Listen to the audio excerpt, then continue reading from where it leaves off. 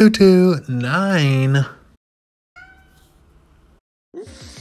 Hashtag age gaps at Fayme Problems. Hashtag VersTEAv 229C. So I'm 22 years old. I've never been in a relationship before. And I went to this music festival in Barcelona a few weeks ago.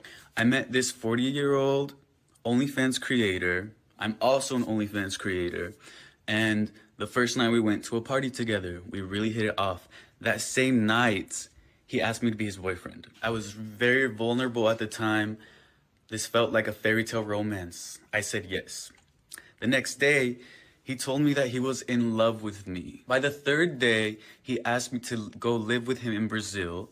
And so I told him, I'm here in Europe for about two months. So maybe we should try staying together here in Europe before I go somewhere like Brazil. And I really thought that this man was the one.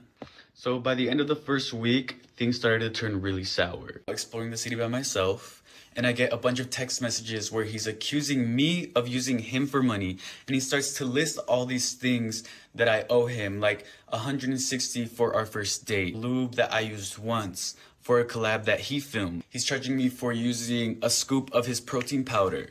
He's charging me for ruining this Louis Vuitton bag because there's a scratch right there. I didn't even want to wear that bag in the first place. He told me to wear that bag because my bag looked cheap and he didn't want to be seen walking around with me and that bag. Mm. Well, I'm sure Kevin will be right back.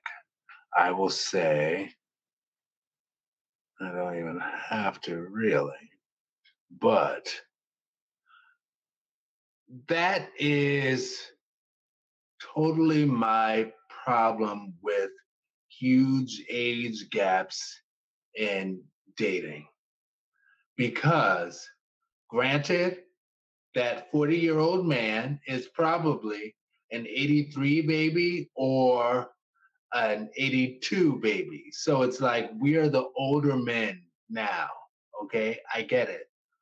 But I agree with what Dan Savage said about with significantly older people dating significantly younger people, or with people not significantly older people dating significantly younger, but with people dating people who are significantly younger and legal, it's like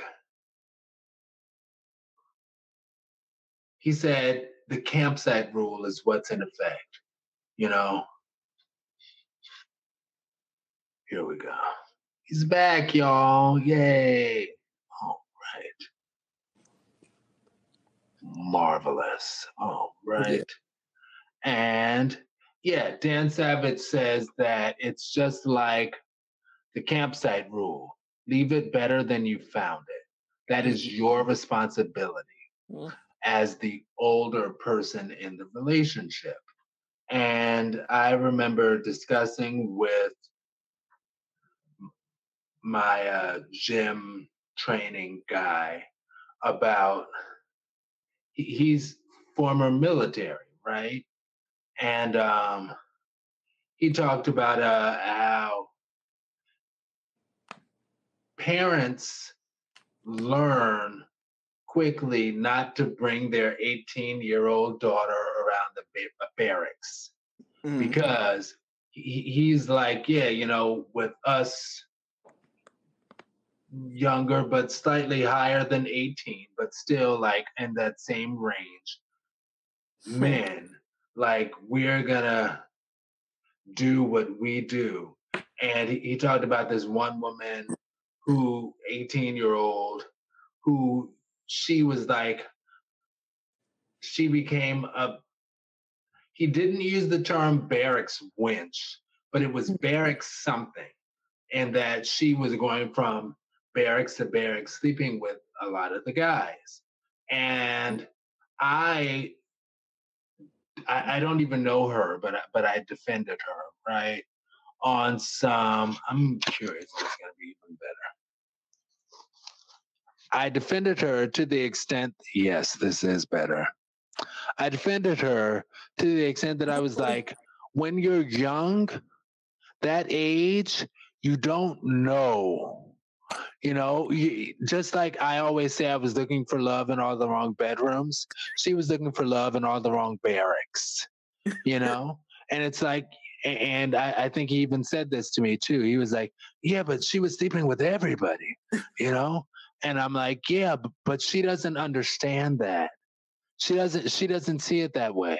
The way she saw it was, she's like, I'll sleep with him, and I'll try and, and see what can happen if we can maybe grow to something bigger and then next thing you know he, he says no and she was she's like okay i'm gonna move on to this next one and see if that's um, somebody that i can connect with and he's like mm, no two after they do what they do and then she moves on to the third and so forth and so on and next thing you know she develops a reputation for being a easy person easy sexual person. And I think there was even a time that I had such a reputation online a little bit. I, I, I backed up very, very quickly though. But I was looking for love in all the wrong bedrooms. But if somebody turns you down, you know, you're like, well, I can just keep trying. I, have got to try to find him. I know he's somewhere you know? But you get that reputation. Anyway, I didn't even almost finish this. Basic complexity, I'll uh, go back to it in my in my one ish minute. Anyway, yours. Um, that that entire situation to me was just riddled with nothing but red flags. And there are three strikes in my book. Alright, so he asks you to be his be his boyfriend the first night you met um the issue with it. Um, two, he tells you that that he is in love with you. Um, on the second day, issue in itself. and three, he asks you to move in with him in Brazil, which is a whole different country. Um, on the third day, I see nothing but issues. That's what I have. Going back to the uh,